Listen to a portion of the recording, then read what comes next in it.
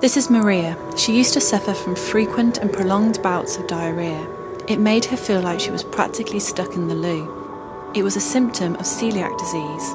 Up to half a million people in the UK have it, and they don't even know. So if you have any symptoms you can't explain, go to isitceliacdisease.org.uk and take the first steps to a symptom free life. Please share to raise awareness and help us find those half a million sufferers. Thank you.